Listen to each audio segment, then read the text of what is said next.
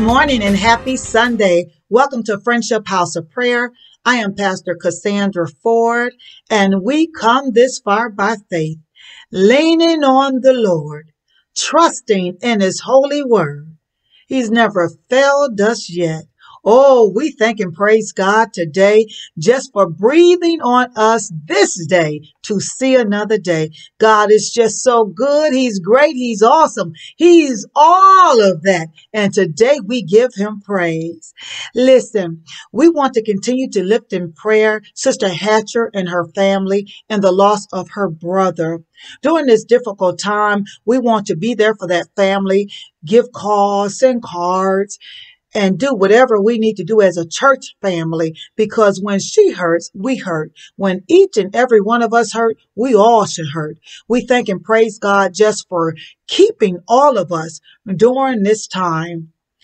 At this time, we are going to have prayer. We are going to sing praises unto the Lord in praise and worship, and we are going to get in the word and digest it. Praise God. Amen. Would you pray with me?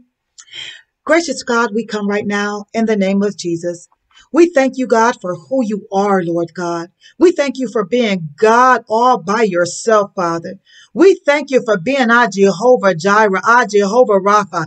Lord God, we thank you just for being great and awesome. Father, we thank you for being a way maker, a gatekeeper. We thank you for opening doors no man can open, shutting doors no man can close. Father, we thank you and we praise your holy name. Now we ask that you come into our hearts, Lord God, and open it up to receive the word of God. Father God, I even ask, I ask that you allow me to be that good soil, Lord God, that may produce, Father God, the fruit of your word. I thank you, oh God. I praise you. I lift your name up. I shabach you in the name of Jesus because you are worthy to be praised. Father, we thank you. We adore you. In Jesus' name we pray. Amen. Amen. Shall we go into praise and worship and lift up the name of Jesus?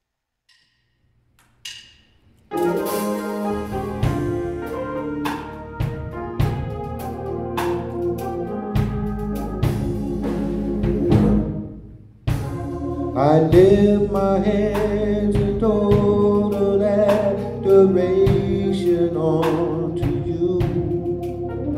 You reign on the throne, for you are God and God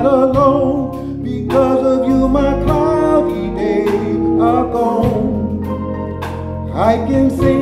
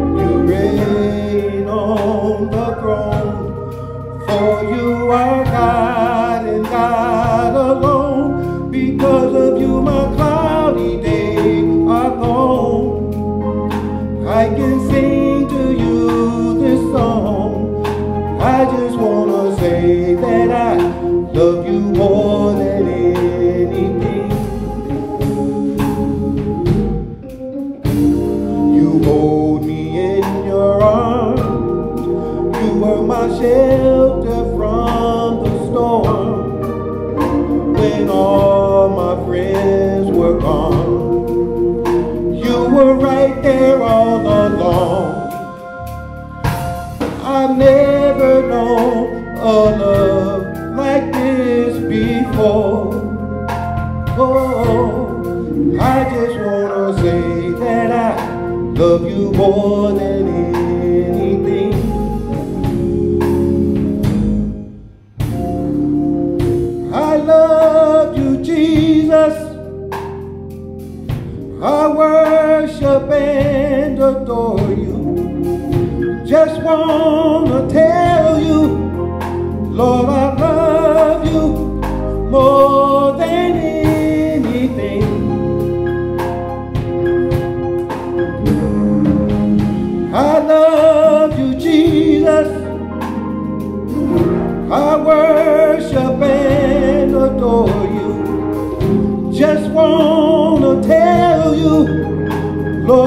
love you more than anything.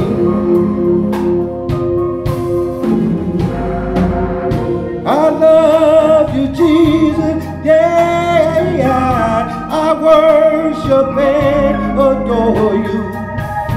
Just wanna tell you, Lord, I love you more.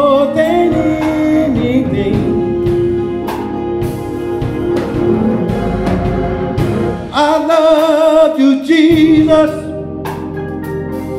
I worship and adore you.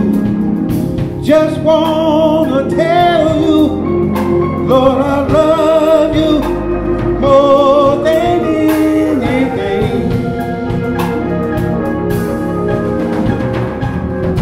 I love you, Jesus, yeah. Just wanna tell you, Lord, I love you more than anything. I love you, Jesus. I worship and adore you. Just wanna tell you, Lord, I love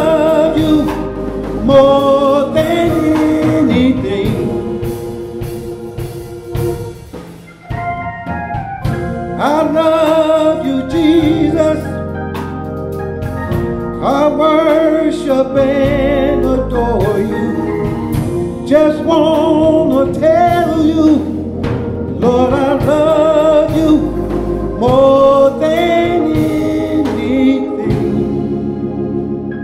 Hallelujah. Praise God and amen.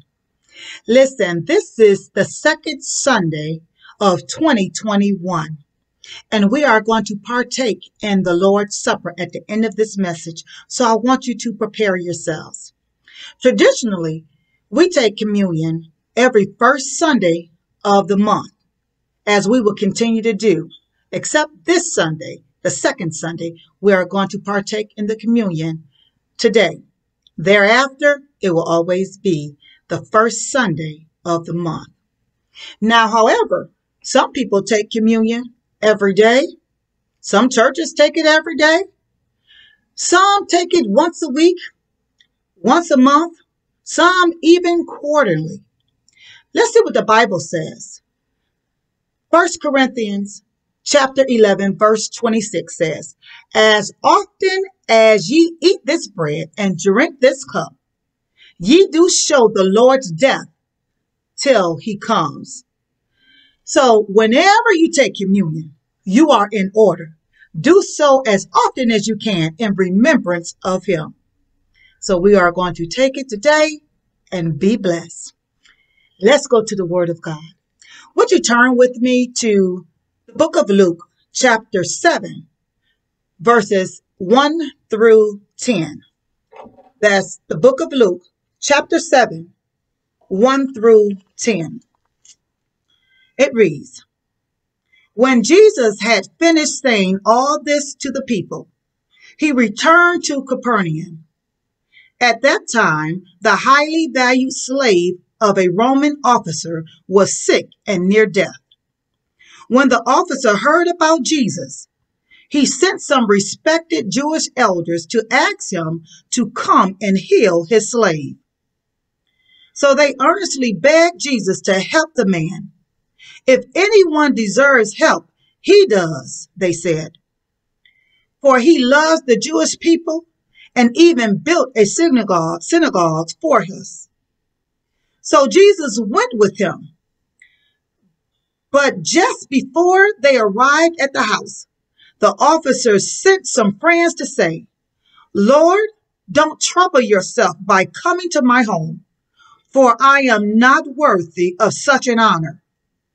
I am not even worthy to come and meet you. Just say the word from where you are, and my servant will be healed. I know this because I am under the authority of my superior officers, and I have authority over my soldiers. I only need to say go, and they will go, or come, and they will come. And if I say to my slaves, do this, they do it. When Jesus heard this, he was amazed. Turning to the crowd that was following him, he said, I tell you, I haven't seen faith like this in all Israel. And when the officer's friends returned to his house, they found the slave completely healed. We want to talk today from the title of What Faith Looks Like. What faith looks like. So here's the layout. Jesus is in this little town called Capernaum. As he gets there, he's met by a group of Jewish elders. So they're coming up to him on a request on a behalf of this Roman officer. Now, this Roman officer is a centurion soldier, centurion officer. He's centurion because he's a captain over a hundred men. So they coming to Jesus on his behalf.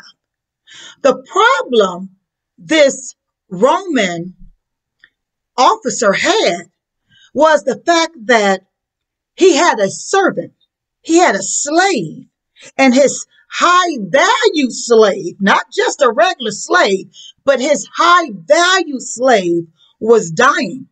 So this Roman officer heard about the power of healing, about how Jesus was healing people. So because he didn't have that relationship with Jesus and he didn't know the Lord, he didn't grow up knowing the Lord like these Jewish elders did. Now, mind you, this Roman officer was a Gentile. So because he heard the power of healing through Jesus, he went to these Jewish elders and said, Hey, listen, can you go get Jesus and have Jesus to come to my home and heal my high valued slave because he is dying? They had a great relationship. So these Jewish elders went to get Jesus. Here's the conversation. They go to Jesus and they says, Jesus, listen, we have a favor to ask of you.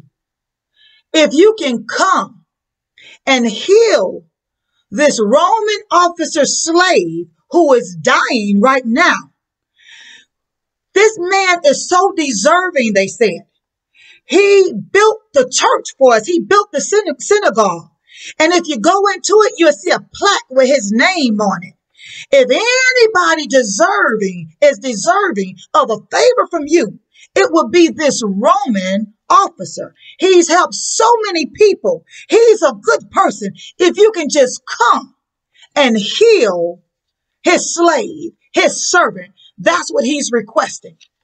So here's Jesus on his way to the Roman officer's house. So, but before he gets there, Here's another group of the Roman officer friends. Now they come to Jesus and they said, Jesus, we have a message to give you from the Roman officer who sent for you in the first place. He says, wait a minute now. Stop where you are. He said, he wants you to know that he says, I am not worthy of you coming to my home and I am not worthy of me even coming to meet you. So you can stop right there. You don't have to come in my home. This Roman soldier, this Roman officer who's a Gentile who did not grow up in the Lord, he says this, change the whole dynamics. He says, wherever you are, right where you are, if you just say a word, I believe my servant will be healed. If you just say a word, you don't have to come in the home. You don't have to meet me because I'm not worthy. I'm unclean. I've done some things in my past that makes me know I am not worthy of you, Jesus, of your high standards, your honor. I'm not worthy. This man humbled himself unto the Lord. He sent message. Now, the first message he sent to the elders, the Jewish elders was, if you can come and heal him And on the way, when Jesus was traveling to his home and got there, this man had a revelation. He says, wait a minute, stop. Hold up, wait a minute. You don't even have to come in. He started thinking, wait a minute. I've seen the work and heard about all the work and all the healing that you have done. Even if though I didn't grow up in the Lord, now that I see your work, I believe in your work. You don't have to come in. This man said, if you can just say a word, he believed that his servant, his slave, his high value slave will be healed. Say a word, speak a word, Lord, right where you are. And my servant, he says, will be healed. Jesus says, Oh my goodness. He turned around to the crowd. Jesus says, Did you hear that? This is the type of faith I'm talking about. He's looking at the crowd. Jesus got excited because this faith this man had had just did something to him. He said, "Oh my gosh, did you hear what he said? Did you hear what he sent message to tell me?" He said, "If you just stay right where you are because he's not worthy." He said, "If you can just say a word, Lord, I believe." And that's the thing, you have to believe in order to have faith. You have to believe. He said, I believe my servant will be healed. Jesus turned around to that crowd. That crowd, I believe, got excited because Jesus was so excited, saying, Did you hear? He says, I have never saw this type of faith in Israel at all. I have never seen it before. And coming from this Gentile who says, I believe if you can just say a word where, right where you are. What is faith though? We can say, well, the book of Hebrews says faith is the substance of things hoped for, the evidence of things not seen. Well, okay, sounds good. That's scriptures. What does that really mean? In other words, faith is acting like it's so, even when it's not so, in order for it to be so. The Bible says, without faith, it is impossible to please God. If you want to please God, you must have faith. You must believe in God and you must believe in his works, his healing power, his delivering power. You have to believe that God can do all things, all things. He has all powers in his hand. When he raised from the dead, he said, I had, he raised with all power in his hands. We have to have that same faith. Faith comes by hearing and hearing the word of God. We have to have that same faith. And once you get faith, don't think that's it. Because faith goes by level to level to level. You will continue to grow in faith as long as you are on this earth. Faith. We must have faith in order to please God. What does faith looks like? Faith looks like chap, um, Luke chapter 7. That's what faith looks like. As soon as he said, You don't have to come. If you can just speak a word, I believe I'll be healed. It's just like the woman with the issue of blood. Lord, you don't have to lay your hands on me. You don't have to come to me. I don't have to shake your hand. I don't have to sup with you. She said, But if I can just touch the hem of his garment, I will be made whole. Your faith will make you whole. You have to believe and know, surely as I say to you, as soon as you start believing, the enemy is going to come and start speaking to you like never before. You're going to say, I believe you, Lord. I believe and I have faith. The enemy is going to start reminding you of what you did, what you said, and make sure you know you are not worthy. Go ahead, accept that. Lord, I know I'm not worthy. I'm not worthy, but you keep blessing me. I'm not worthy, but you keep delivering me. I'm not worthy, but you keep healing me. I'm not worthy. And as long as we on this earth, we will never be worthy to ask Jesus for anything. But we ask, even in our when we're not worthy, we still ask and he still deliver. Good God. I thank God. I thank God because we should be growing in faith every time we read scripture. It should penetrate in our heart and we should continue to grow in faith. That's what faith looks like. Grab hold to faith. Act like it's so even though it's not so in order for it to be so. You can't see faith. You can't see it. So when you have faith, the enemy will start putting negative things in front of you so you can see that. So you have to look past that and see the good and grab hold to your faith. You grab hold to it by putting your hand in the master hand. God is the problem solver. Give your problems to the problem solver, which is Jesus Christ. He'll fix it. You can't handle it. That's what faith looks like. Believe in it, even though you can't see it. My God, I pray we all grow in faith. And I pray you receive something from this message that will make you run to scripture and increase your faith. I pray that you receive something from this message that will make you say, Lord, I desire to have you Lord of my life. And if that's you, you just reach out to heaven and tell him, Jesus, I believe in my heart that you died and rose for me. Lord, I am a sinner saved by grace. And Lord, please forgive me of my sins. But I desire and I need and I want to make you Lord of my life. Come into my heart, Lord. Help me, deliver me, and save me. And the Bible says, if you believe in your heart and confess with your mouth, you shall be saved. And there's nothing no one else can do about it, even your enemies. Because the Bible says on that with your enemies, when a man ways pleases God, he will make your enemies be at peace with you. I pray you wrap your loving arms around the word of God and allow it to get into your heart so you can start living on a higher level of faith. Don't forget people of God, people of God. Call people.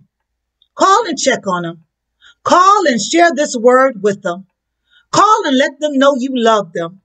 Call and let people know that you are concerned about them. So many times we think about people and we say, oh, I'm going to call them a little later. I'm going to call them a little later. I've done that so many times. And I said, you know what, Cassandra? Look at here, girl. You're going to get some discipline, more discipline in your life. You got this okay. You got this okay. But I need you to sit down and start doing the things that's in your heart and that's calling the saints of God. You too. Call people. Let them know. People need to hear a word from heaven. And sometimes you the only God that they see through you and through your words. Let's do this together. We are in this together. Although we are on this road, this, this journey, single by ourselves, but we are all in this together. Praise God. Amen. I thank God for you, you, and you. Let's continue to keep people prayed up so we can continue to go up in faith. Amen.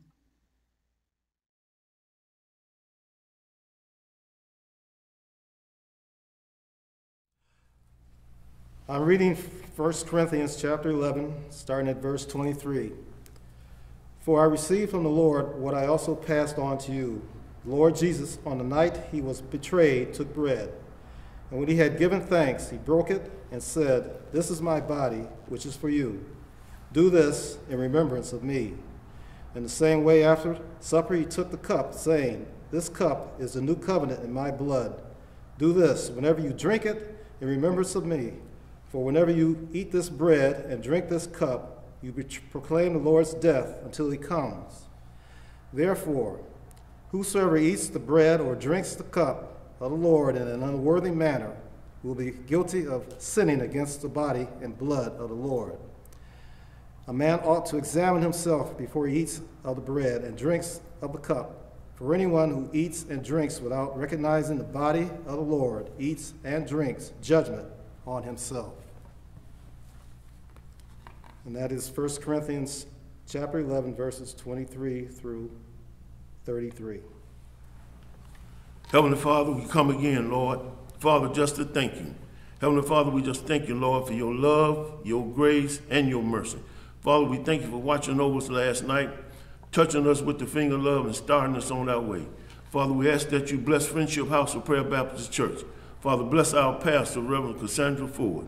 Heavenly Father, strengthen her and stand by, bless her in a mighty way. Father, we ask that you bless the front line of the viruses, Lord. Touch them, bless them in a mighty way. Father, go by the White House, Father. Touch them and bless them in a mighty way. Heavenly Father, we ask that you bless our nation, Lord. Strengthen us and stand by us. Father, help us to come together in love. Look down upon us, Heavenly Father. Strengthen us and stand by us. Father, we thank you for all the many blessings that you have bestowed upon us. Continue to bless Friendship House of Prayer. Continue to bless every member of the church. Father, bless all our sick and shut in. Bless the bereaved, Lord. Strengthen them, touch them in a mighty way. Father, these blessings I ask and pray in our Father's name. Amen. John 6 and 53 tells us, Jesus says, Unless we eat of his body and drink of his blood, we have no life. Therefore, we partake in the Lord's Supper in remembrance of him. The scripture says, He took the bread and broke it, and he said, Take, eat.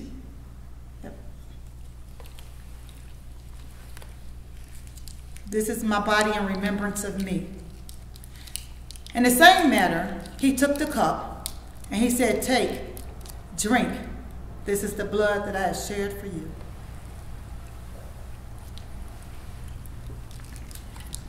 Amen.